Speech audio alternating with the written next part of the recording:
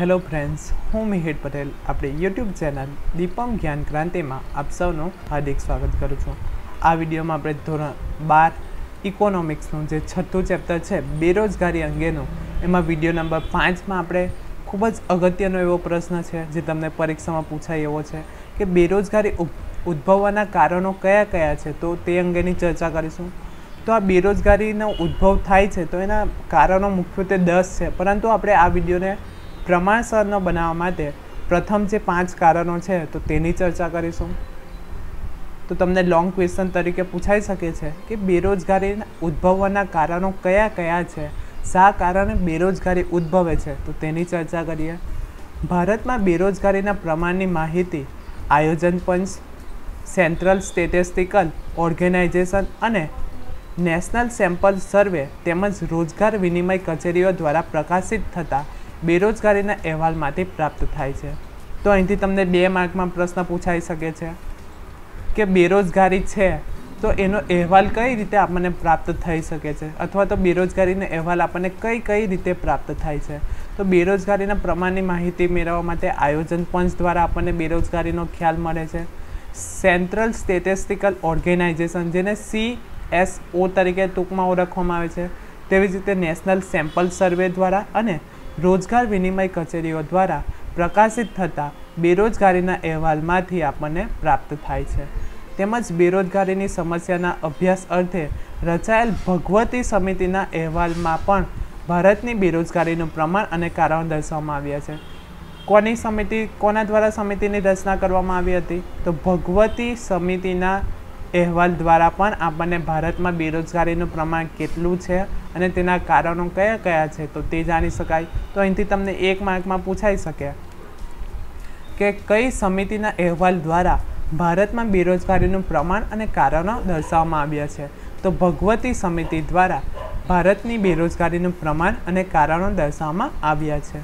ભારતમાં આર્થિક વિકાસના દરને ઊંચો લઈ જવા માટે અને બેરોજગારીની સમસ્યાના ઉકેલ માટે ઈસવીસન ઓગણીસો એકાવનથી આયોજન આયોજનબદ્ધ પગલાં લેવાના હોવા છતાં, બેરોજગારીની સમસ્યા વધારે ને વધારે તીવ્ર બનતી ગઈ છે. યોજ યોજનાના અંતે બેરોજગારીના પ્રમાણની નીચી, નીચે આપેલી માહિતી પરથી સ્પષ્ટ થાય છે. શું છે? ભારતમાં આર્થિક વિકાસના દરને ઊંચો લઈ જવા માટે. એટલે કે ભારતમાં જે આર્થિક વિકાસ છે, તો એનો દર ઊંચો લઈ જવા માટે અને બેરોજગારીની સમસ્યાઓનો ઉકેલ લાવવા માટે વર્ષ ઓગણીસો એકાવનથી આયોજનબદ્ધ પગલાં લેવામાં આવ્યા. તેના કારણે શું થાય છે તો બેરોજગારીની સમસ્યા વધારે ને વધારે તીવ્ર બનતી ગઈ. જે ઓગણીસો એકાવનમાં આયોજનબદ્ધ પગલાં લેવામાં આવ્યા, છતાં પણ બેરોજગારી કાબૂમાં આવી નહીં અને બેરોજગારીની સમસ્યા વધારે ને વધારે તીવ્ર બનતી ગઈ. ભારતમાં પ્રથમ પંચવર્ષીય યોજનાને અંતે ત્રેપન લાખ બેરોજગાર હતા. તો આ તમારે આંકડો યાદ રાખવાનો છે કે પ્રથમ પંચવર્ષીય યોજના દરમિયાન ભારતમાં બેરોજગારોની સંખ્યા કેટલી હતી? તો ત્રેપન લાખ બેરોજગારો હતા. જે વધીને પાંચમી યોજનાના અંતે તો ત્રણસો ચાર લાખ અને નવમી યોજનાના અંતે વધીને ત્રણસો અડતાલીસ પોઈન્ટ પાંચ લાખ બેરોજગાર થઈ ગયા. તો આ આંકડા જે દર્શાવવામાં આવ્યા છે તે તમારે યાદ રાખવા ખૂબ જ જરૂરી છે અને જો તમે પરીક્ષામાં લખશો તો જે પરીક્ષક છે, તેના ઉપર તમારી સારી અસર પડશે અને તમે સારા માર્ક્સ મેળવી શકશો. તો પ્રથમ પંચવર્ષીય યોજનામાં બેરોજગારીની સંખ્યા કેટલી હતી? તો ત્રેપન લાખ કરોડ, ત્રેપન લાખ બેરોજગારો હતા. પાંચમી પંચવર્ષીય યોજનામાં તે આંકડો વધીને ત્રણસો ચાર લાખ થઈ ગયો અને નવમી જે પંચવર્ષીય યોજના હતી, તો એમાં વધીને ત્રણસો અડતાલીસ પોઈન્ટ પાંચ લાખ બેરોજગારો થયા. ઉપરયુક્ત બેરોજગારીની માહિતી પરથી આપણે તારણ કાઢી શકીએ છીએ કે ભારતમાં વ્યાપક પ્રમાણમાં બે, બેરોજગારી જોવા મળે છે. શું જોવા મળે છે? તો વ્યાપક પ્રમાણમાં બેરોજગારી જોવા મળે છે. તેમાં ઉત્તરોત્તર વધારો થઈ રહ્યો છે. આ એક ચિંતાજનક બાબત છે. એટલે કે જે બેરોજગારી છે, તો એ ઘટવાની જગ્યાએ ઉત્તરોત્તર વધારો થઈ રહ્યો છે. આ શું છે? તો એક ચિંતાજનક બાબત છે. હવે ગમે તે દેશ હોય, તેમાં બેરોજગારી જો વધતી હોય, તો એક ચિંતાનો વિષય છે. બેરોજગારીના વધારા માટે શ્રમના પુરવઠામાં ઝડપથી થતી વૃદ્ધિ રોજગારીની તકોમાં ધીમો વધારો, નીચો બચત અને મૂડીરોકાણનો દર તેમજ શિક્ષણની, શિક્ષણ પદ્ધતિની ખામી જેવા અનેક કારણો જવાબદાર છે. તો આ બેરોજગારી વધારવા માટે કયા કયા કારણો જવાબદાર છે? તો આ તમને બે માર્ક્સમાં પૂછાઈ શકે કે બેરોજગારી વધારા માટે કયા કયા કારણો જવાબદાર છે. તો બેરોજગારી વધારવા માટે શ્રમના પુરવઠામાં ઝડપ, ઝડપથી થતી વૃદ્ધિ, રોજગારીની તકોમાં ધીમો વધારો નીચો બચત દર બચત દર અને મૂડી રોકાણનો દર તેમજ શિક્ષણ પદ્ધતિની ખામી જેવા અનેક કારણો જવાબદાર છે. તેના કારણે બેરોજગારીનું પ્રમાણ વધારે જોવા મળે છે. ભારતમાં બેરોજગારીની સમસ્યા ઉદ્ભવવાના કેટલાક મુખ્ય કારણો છે તો તે જોઈએ. તો આ વિડીયોમાં આપણે પ્રથમ જે પાંચ કારણો છે તો તેની ચર્ચા કરીશું. તો બેરોજગારીના કારણોમાં પ્રથમ કારણ છે વસ્તી વૃદ્ધિનો ઊંચો દર, રોજગારીની તકોમાં ધીમો વધારો બચત અને મૂડીરોકાણનો નીચો દર, મૂડી પ્રધાન ઉત્પાદન પદ્ધતિ, વ્યવસાયિક શિક્ષણનું નીચું પ્રમાણ, માનવ શક્તિના આયોજનનો અભાવ, જાહેર ક્ષેત્રની બિનકાર્યક્ષમતા કૃષિ ક્ષેત્રના વિકાસની અવગણના, શ્રમની ઓછી ગતિશીલતા અને અપૂરતી માળખાકીય સુવિધાઓ. આ તમને બે માર્કમાં પૂછાઈ શકે છે કે બેરોજગારીના કારણો કયા કયા છે? તો વસ્તી વૃદ્ધિનો ઊંચો દર, રોજગારીની તકોમાં ધીમો વધારો, બચત અને મૂડીરોકાણનો નીચો દર, મૂડી પ્રધાન ઉત્પાદનની પદ્ધતિ, વ્યાવસાયિક શિક્ષણનું નીચું પ્રમાણ, માનવ શક્તિના આયોજનનો અભાવ, જાહેર ક્ષેત્રની બિનકાર્યક્ષમતા, કૃષિ ક્ષેત્રના વિકાસની અવગણના, શ્રમની ઓછી ગતિશીલતા અને અપૂરતી માળખાકીય સુવિધા આ બેરોજગારીના મુખ્ય કારણો છે. તો પ્રથમ કારણ જોઈએ તો વસ્તી વૃદ્ધિનો ઊંચો દર. શું છે? વસ્તી વૃદ્ધિનો ઊંચો દર, જે પણ બેરોજગારી વધારે છે. તો તેની ચર્ચા કરીએ. તો ભારતમાં વસ્તીનું કદ અને વસ્તી વૃદ્ધિના દરનું ઊંચું પ્રમાણ જોવા મળે છે. તમે જાણો જ છો કે ભારતમાં જે વસ્તી છે, એ ઉત્તરોત્તર વધારે ને વધારે થતી જોવા મળે છે. ભારતમાં વસ્તી વૃદ્ધિનો દર ઊંચા, ઊંચો રહેવાથી કુલ વસ્તીમાં ખૂબ મોટા પ્રમાણમાં વધારો થયો છે. એટલે કે ભારતમાં વસ્તી વૃદ્ધિનો ઊંચો દર રહેવાથી દેશની કુલ વસ્તીમાં પણ ખૂબ મોટા પ્રમાણમાં વધારો થયો છે. એટલે કે તમે જાણો છો કે કોઈ પણ રાજ્યમાં વસ્તી વધે તો તેના કારણે શું થાય છે? તો સંપૂર્ણ દેશમાં પણ વસ્તીનું પ્રમાણ વધારે થતું જોવા મળે છે. તો તેથી શું થાય છે? તો શ્રમના પુરવઠામાં પણ ઝડપથી વધારો થાય છે. એટલે કે જે આપણી પ્રાથમિક જરૂરિયાત છે તો એ સંતોષવાના જે સાધનો છે તો તેના પુરવઠામાં પણ વધારો કરવો પડે છે. અને શ્રમ બજારમાં રોજગારીની શોધમાં પ્રવેશતા નવા શ્રમિકોનું પ્રમાણ પણ ઉત્તરોત્તર વધતું જાય છે. એટલે કે જેમ વસ્તી વધારે વસ્તી વધારે થશે, તો શું થશે? તો વસ્તી વધવાના કારણે જે રોજગારી છે, તો રોજગારી મેળવનાર વ્યક્તિનું પ્રમાણ પણ વધારે થતું જોવા મળે છે. પરંતુ તેની સામે રોજગારીની તકોમાં ધીમા દરે વધારો થતો હોવાથી બેરોજગારીની અને બે અર્ધ બેરોજગારીની સમસ્યા વધતી જોવા મળે છે. આપણે અહીંયા શું છે તો ઉત્તરોત્તર વસ્તીનું પ્રમાણ વધે છે. હવે વસ્તી વધવાના કારણે શું થાય છે? તો વસ્તી વધે છે તો બેરોજગારી, જે રોજગારી આપતા સાધનો છે અથવા તો જે રોજગારી આપતી કંપનીઓ છે, સંસ્થાઓ છે, તો એ ઓછા પ્રમાણમાં હોવાથી આપણને રોજગારી કેટલી પ્રાપ્ત થાય છે? તો રોજગારી ધીમા દરે પ્રાપ્ત થાય છે. ધીમે પ્રાપ્ત થાય છે. હવે રોજગારી ધીમે પ્રાપ્ત કરવાના કારણે શું થાય છે? તો વસ્તી પણ વધે છે. તેના કારણે શું થાય છે? તો બેરોજગારીનું પ્રમાણ ઉત્તરોત્તર વધારે થતું જોવા મળે છે. હવે એક અંદાજ મુજબ ભારતમાં પ્રતિ વર્ષ એક પોઈન્ટ સિત્તેર કરોડ જેટલી વસ્તી વધે છે. શું છે? ખૂબ જ વધારો થાય છે ભારતની વસ્તીમાં. તો ભારતમાં પ્રતિ વર્ષ, એટલે કે હર એક વર્ષે એક પોઈન્ટ સિત્તેર કરોડ જેટલી વસ્તી વધે છે. આમ ઊંચા દરે વધતી વસ્તીની સામે દેશમાં રોજગારી આપવાના સાધનો અપૂરતા હોય, ત્યાં બેરોજગારીમાં વધારો થવો એ સ્વાભાવિક છે. આપણે જોયું કે વસ્તી વસ્તી શું થાય છે? તો વસ્તી વધે છે. હવે વસ્તી વધે છે તો રોજગારી આપતા જે સાધનો છે, રોજગારી આપતા સાધનો, તો એ કેટલા છે? તો ધીમા દરે વધે છે. ધીમા દરે વધે છે. હવે ધીમા દરે વધે છે તો શું થાય છે? તો બેરોજગારીનું પ્રમાણ બેરોજગારી વધે. દેશમાં રોજગારી રોજગાર વૃદ્ધિ દર, વસ્તી વૃદ્ધિના દર કરતાં ખૂબ જ નીચો હોવાથી બેરોજગારીની સમસ્યા સર્જાય છે અને તે વધતી જાય છે. એટલે કે દેશમાં રોજગારી વૃદ્ધિ દર કેવો છે? તો વસ્તી વૃદ્ધિના દર કરતાં ધીમો છે. એટલે કે શું થાય છે? તો વસ્તી ઝડપથી વધે છે. ઝડપથી વધે છે. તેની સામે શું થાય છે? તો જે રોજગારી છે, રોજગારી આપતા સાધનો, તો એની ઝડપ ઓછી છે.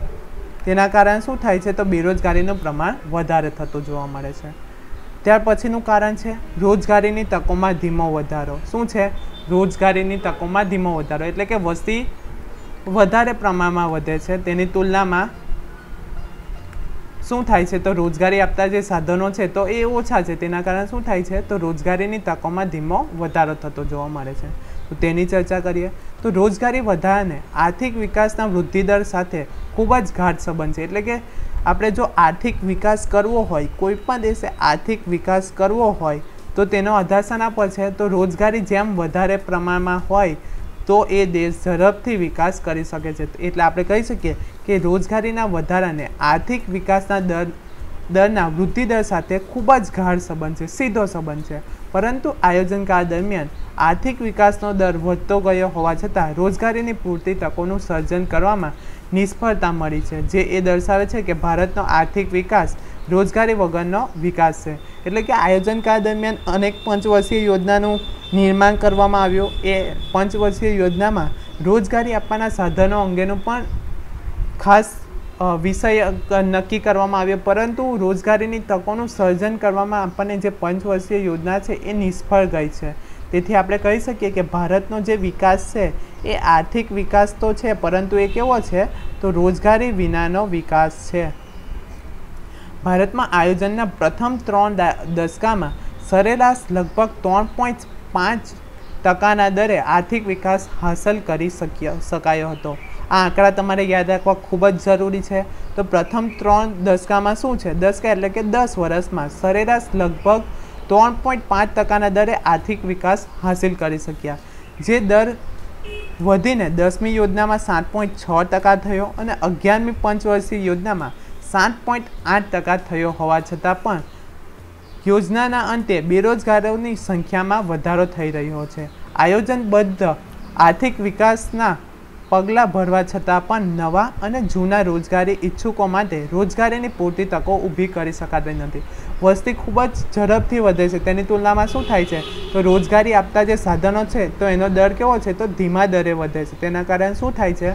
તો બેરોજગારોની સંખ્યામાં વધારો થઈ રહ્યો છે. ખેતી ક્ષેત્રે હરિયાળી ક્રાંતિ અમુક વિસ્તાર પૂરતી જ મર્યાદિત રહી છે અને કૃષિ સિવાયના અન્ય ક્ષેત્રોનો પણ પ્રમાણમાં ઓછા વિકાસ થયો હોવાથી શ્રમ પુરવઠાના વધારાને અનુરૂપ રોજગારીની નવી તકોનું સર્જન કરવામાં સફળતા મળતી નથી અને બેરોજગારીમાં વધારો થયો છે. આપણે જાણીએ છીએ કે ભારત કેવો દેશ છે? તો ભારત કયો દેશ છે? તો ખેતી પ્રધાન દેશ છે. ખેતી પ્રધાન દેશ હોવાથી ભારતના મોટા ભાગના જે લોકો છે, તો એ ખેતી ઉપર આધાર રાખે છે. પરંતુ ખેતીમાં પૂરતા પ્રમાણમાં રોજગારી પ્રાપ્ત થતી ન હોવાથી બેરોજગારીનું પ્રમાણ વધી રહ્યું છે. તો આ એક કારણ છે બેરોજગારી વધવાનું કે રોજગારીની તકોમાં ધીમા દરે વધારો થઈ રહ્યો છે. ત્યાર પછીનું કારણ છે, બચત અને મૂડીરોકાણનો નીચો દર. શું છે? બચત અને મૂડીરોકાણનો નીચો દર. જો આપણે બેરોજગારીનું પ્રમાણ ઘટાડવું હોય, તો જે ઉત્પાદનના સાધનો છે, તો એ માટે યોગ્ય બચત કરવી પડે અને મૂડીરોકાણમાં વધારો કરવો પડે. તેના કારણે શું થાય છે? જો મૂડીરોકાણમાં વધારો કરવામાં આવે, તો રોજગારીની તકો વધારે છે, વધે છે. તેના કારણે બેરોજગારીનું પ્રમાણ આપણે ઘટાડી શકીએ છીએ. તો તેની ચર્ચા કરીએ. તો ભારતમાં આયોજન સમયમાં રાષ્ટ્રીય આવકમાં વધારો થયો છે, પણ સાથે સાથે વસ્તી વૃદ્ધિનો દર પણ ઊંચા ઊંચો જોવા મળે છે. શું છે? આપણે જે આયોજનના સમયમાં છે, તો રાષ્ટ્રીય આવકમાં વધારો થયેલો જોવા મળે છે. એની સાથે સાથે શું થાય છે? તો વસ્તી વૃદ્ધિનો દર પણ વધે છે. હવે વસ્તીનો વૃદ્ધિનો દર વધે છે એટલે કે જે રાષ્ટ્રીય આવક છે, તો એમાં ઘટાડો થવાની શક્યતા રહે છે અને ઘટાડો થાય છે. તો બેરોજગારીનું પ્રમાણ ઘટવાની એક શક્યતા રહેલી છે. પરિણામ સ્વરૂપ માથાદીઠ આવકમાં રાષ્ટ્રીય આવકના પ્રમાણમાં નીચા દરે વધારો થાય છે. નીચી માથાદીઠ આવક અને બોજારૂપ વસ્તીના નિભાવ પાછળ થતા ખર્ચને કારણે બચત અને મૂડીરોકાણનો દર વધે છે. પૂરતા પ્રમાણમાં આવક પ્રાપ્ત થતી નથી. તેના કારણે શું થાય છે? તો માથાદીઠ આવક આપણી ઘટી જાય છે. માથાદીઠ આવક ઘટે છે. તેના કારણે શું થાય છે? તો બોજારૂપ વસ્તી ના, નિભાવ પાછળ ખર્ચ જે થાય છે, તો તેના કારણે બચત અને મૂડીરોકાણનો દર નીચો રહે છે. મૂડીરોકાણનો દર નીચો હોવાથી ઉદ્યોગ ક્ષેત્ર, ખેતી ક્ષેત્ર કે અન્ય ક્ષેત્રોમાં પૂરતા પ્રમાણમાં નવી રોજગારીની તકો ઊભી કરી શકાતી ન હોવાથી બેરોજગારીની સમસ્યા થાય છે. તો બેરોજગારીના કારણમાં ઉદ્યોગનો અવિકાસ અથવા તો વિકાસ થતો નથી. ખેતી ક્ષેત્ર, અન્ય ક્ષેત્રોનો પૂરતા પ્રમાણમાં નવી રોજગારીની તકો ઊભી ન કરી શકવાના કારણે બેરોજગારીનું પ્રમાણ વધારે જોવા મળે છે. ત્યાર પછીનું કારણ છે મૂડી પ્રધાન ઉત્પાદન પદ્ધતિ. શું છે? મૂડી પ્રધાન ઉત્પાદન પદ્ધતિ. તો ભારતમાં મૂડીની અછત અને શ્રમની અછત છે. શું છે? ભારતમાં મૂડીની પણ અછત છે અને શ્રમની પણ અછત છે. આ પરિસ્થિતિમાં બેરોજગારીની સમસ્યા હળવી કરવા શ્રમ પ્રધાન ઉત્પાદન પદ્ધતિ અપનાવવી વધારે અનુકૂળ ગણાય. પરંતુ ભારતમાં ખાસ કરીને બીજી પંચવર્ષીય યોજનાથી મોટા અને પાયાના ઉદ્યોગોના વિકાસની નીતિ અપનાવી છે. શું છે? તો બીજી પંચવર્ષીય યોજનામાં મોટા અને પાયાના ઉદ્યોગોના વિકાસની નીતિ અપનાવવામાં આવી. પંચવર્ષીય યોજનામાં પણ મૂડી પ્રધાન ઉત્પાદન પદ્ધતિના પ્રમાણમાં શ્રમ પ્રધાન ઉત્પાદન પદ્ધતિને ઓછું મહત્ત્વ મળ્યું. ખેતી અને ઉદ્યોગ ક્ષેત્રમાં વધુને વધુ યાંત્રિકીકરણ અપનાવવામાં આવ્યું, જે રોજગારીમાં ધીમા દરે વધારો વધારો થઈ રહ્યો છે. એટલે કે ખેતી અને ઉદ્યોગ ક્ષેત્રમાં વધુને વધુ યાંત્રિક, યાંત્રિકીકરણ કરવામાં આવ્યું. આધુનિક સાધનો અપનાવવામાં આવ્યા. તેના કારણે શું થાય છે તો રોજગારીમાં ધીમા દરે વધારો થઈ રહ્યો છે. ઉદ્યોગ ક્ષેત્રે પણ ઉત્પાદકતા વધારવા માટે તેમજ સંગઠિત મજૂરો મજૂર મંડળો સામે એક પ્રકારનું રક્ષણ મેળવવા માટે શ્રમનો બચાવ કરે તેવી ઉત્પાદન પદ્ધતિ અપનાવવાનું વલણ અપનાવવામાં આવ્યું. શું કરવામાં આવ્યું? તો ઉદ્યોગ ક્ષેત્રે પણ ઉત્પાદકતા વધારવા માટે સંગઠિત મજૂર મંડળોની રચના કરવામાં આવી. તેમજ એક પ્રકારનું રક્ષણ મેળવવા માટે સંગઠિત મજૂર મંડળોની રચના કરવામાં આવી. શ્રમનો બચાવ કરવા માટે ઉત્પાદન પદ્ધતિ અપનાવવાનું વલણ અપનાવવામાં આવ્યું. ઉપરાંત રેલવે, સિંચાઈ, રસ્તા, બાંધકામ તેમજ રાજ્યના અન્ય જાહેર ક્ષેત્રોમાં પણ મૂડી પ્રધાન ઉત્પાદન પદ્ધતિનો ઉપયોગ ઉપયોગ વધતો ગયો. શું છે? તો રેલવેમાં, સિંચાઈમાં, રસ્તા, બાંધકામ તેમજ રાજ્યના અન્ય જાહેર ક્ષેત્રોમાં મૂડી પ્રધાન ઉત્પાદન પદ્ધતિનો ઉપયોગ વધારે થઈ રહ્યો છે. તેના કારણે શું થાય છે? તો બેરોજગારીની સમસ્યા તીવ્ર બનતી ગઈ છે. તેથી જ બેરોજગારીના અભ્યાસ માટે રચાયેલ વેંકટ, વેંકટરામન સમિતિ અને ભગવતી સમિતિએ પણ ભારતમાં વધારે પડતા યાંત્રિકકરણનો વિરોધ કર્યો. તો ભારતમાં જે સમિતિ છે, વેંકટરામન સમિતિ અને ભગવતી સમિતિએ વધારે પડતા યાંત્રિકીકરણનો વિરોધ કરવામાં આવ્યો હતો. તો આ તમને પૂછાઈ શકે કે કઈ સમિતિ દ્વારા યાંત્રિકીકરણનો વિરોધ કરવામાં આવ્યો હતો? તો વેંકટરામન સમિતિ દ્વારા અને ભગવતી સમિતિ દ્વારા ભારતમાં જે વધારે પડતા યાંત્રિકીકરણ કરવામાં આવ્યો હતો, તો તેનો વિરોધ કરવામાં આવ્યો હતો. ત્યાર પછીનું કારણ છે વ્યવસાયિક શિક્ષણનું નીચું પ્રમાણ. તો એના કારણે પણ બેરોજગારીનું પ્રમાણ વધારે જોવા મળે છે, તો તેની ચર્ચા કરીએ. તો ભારતમાં શિક્ષિતોની વધતી જતી બેરોજગારીનું એક મહત્ત્વનું કારણ ખામીયુક્ત શિક્ષણ પદ્ધતિ છે. આપણે જે શિક્ષણ મેળવીએ છીએ, તો આપણને ભવિષ્યમાં જે નોકરી કરવી હોય અથવા તો વ્યવસાય કરવો હોય, તો એમાં ઉપયોગી સાબિત થતું નથી. એટલે કે આપણે કહી શકીએ કે આપણે જે શિક્ષણ મેળવીએ છીએ, એ કેવું છે? તો ખામીયુક્ત શિક્ષણ પદ્ધતિથી આપણે શિક્ષણ મેળવીએ છીએ. દેશમાં દરેક ક્ષેત્રે બદલાતી બદલાતી જતી કાર્ય પદ્ધતિને અનુરૂપ કામ કરી શકે તેવા શ્રમિકો તૈયાર કરવામાં આજની શિક્ષણ પ્રણાલી પૂરતી સફળ નથી. આપણે જોયું કે દેશમાં જે છે, તો દરેક ક્ષેત્રમાં એટલે કે અર્થતંત્રના દરેક ક્ષેત્રમાં જે બદલાતા સમયની સાથે કાર્ય પદ્ધતિને અનુરૂપ કામ કરી શકે તેવા શ્રમિકો તૈયાર કરવામાં આપણી આજની જે શિક્ષણ સમિતિ અથવા તો શિક્ષણ પ્રણાલી છે, તો એ સફળ થઈ નથી. આર્થિક વિકાસના દરને ઊંચો લઈ જવાના હેતુથી ઉદ્યોગ ક્ષેત્ર, ખેતી ક્ષેત્ર તેમજ અન્ય ક્ષેત્રમાં જે નવી ટેકનોલોજી અને યાંત્રિકીકરણ અપનાવવામાં આવ્યું છે. શું છે? તો આર્થિક વિકાસના દરને ઊંચો લઈ જવા માટે શું શું કરવામાં આવ્યું? તો ઉદ્યોગ ક્ષેત્ર, ખેતી ક્ષેત્ર તેમજ અન્ય ક્ષેત્રોમાં જે નવી ટેકનોલોજી અને યાંત્રિક, યાંત્રિકીકરણ અપનાવવામાં આવ્યું, તેના કારણે શું થયું? તો આ પદ્ધતિના કારણે અનુરૂપ કેળવાયેલા ટેકનોલોજીકલ જ્ઞાન ધરાવતા શ્રમિકોની જરૂર પડી. એટલે કે આ ઉદ્યોગ ક્ષેત્ર છે, ખેતી ક્ષેત્ર છે ને અન્ય કોઈ ક્ષેત્ર છે, તો એમાં નવી ટેકનોલોજી આવી, નવા સાધનો આવ્યા, તો એ સાધનો માટે યોગ્ય શિક્ષણ આપવું ખૂબ જ જરૂરી છે. પરંતુ તેનાથી વિપરીત સ્થિતિ શું છે? તો વર્તમાન સમયમાં જે શિક્ષણ પદ્ધતિ જોવા મળે છે, એના પરિણામે શું થાય છે? તો કુશળ શ્રમિકો મળતા નથી. કારણ કે શિક્ષણ ક્ષેત્રે વ્યાવસાયિક શિક્ષણનું પ્રમાણ ખૂબ જ ઓછું છે. એટલે કે આજે આપણે જે શિક્ષણ મેળવીએ છીએ, તો એ વ્યવસાય માટે ખૂબ જ ઉપયોગી ઉપયોગી થતું નથી. એટલે કે વ્યવસાય શિક્ષણ મેળવવું હોય તો એ ખૂબ જ ઓછું મળે છે. તેના કારણે આપણે શું કહી શકીએ તો કોઈક નવો વ્યવસાય કરી શકતા નથી. તો આપણે કહી શકીએ કે આજનું જે શિક્ષણ છે, એ પૂરતી સફળતા પ્રાપ્ત કરી શક્યું નથી. વર્તમાન સમયમાં શિક્ષણ માનવીનું માનસિક અને શારીરિક ઘડતર કરવામાં નિષ્ફળ નિવડ્યું છે. તેથી શિક્ષણ મેળવ્યા પછી પણ વ્યક્તિ સ્વરોજગારી મેળવી શકે તેટલી પણ તેમનામાં ક્ષમતા આવી નથી અને બેરોજગારીની સમસ્યાનો ભોગ બને છે. એટલે કે આજે જે આપણે શિક્ષણ મેળવીએ છીએ, તેના કારણે આપણે સ્વરોજગાર, કોઈક નવો પોતાની જાતે આત્મનિર્ભર રહીને રોજગારી મેળવવી હોય તો આપણે મેળવી શકતા નથી. એટલી ક્ષમતા આપણામાં નથી. તેના કારણે પણ આપણે બેરોજગારીનો સમસ્યાનો ભોગ બનીએ છીએ, તો આ વિડીયોમાં આપણે જે બેરોજગારીના કારણો હતા, તો તેની ચર્ચા કરી. હવે આવનારા વિડીયોમાં આપણે વધારાના કારણોની ચર્ચા કરીશું. આશા રાખું છું કે તમને આ વિડીયોમાં સમજ પડી ગઈ હશે અને જો તમને આ વીડિયો પસંદ પડ્યો હોય, તો લાઈક કરો, વધુમાં વધુ શેર કરો અને અમારી ચેનલને સબસ્ક્રાઈબ કરો. Thank you.